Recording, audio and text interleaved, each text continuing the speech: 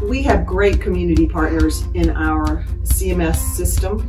Uh, today we've had uh, visits with Subaru and Shoe Carnival that have had some really impactful work with Montclaire Elementary School.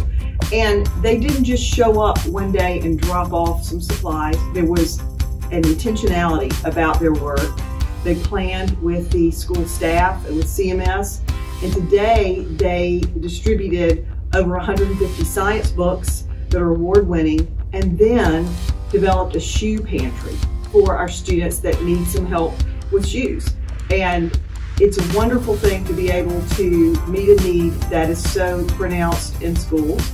And these folks have just done a great job with that. But again, there was planning and our community partners fill so many needs for us. They're so important to the work that, that uh, occurs every day in CMS.